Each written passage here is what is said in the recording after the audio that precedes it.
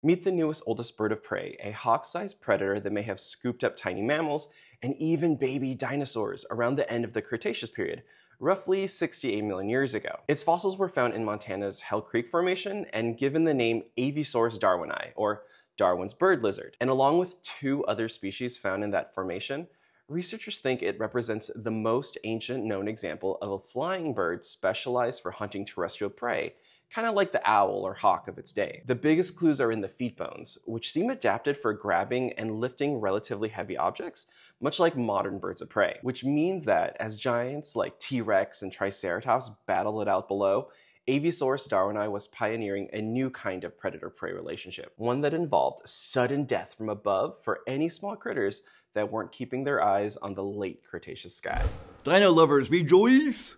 A brand new Walking with Dinosaurs just launched on PBS, 25 years after the original series. Head to the link in the description to learn more.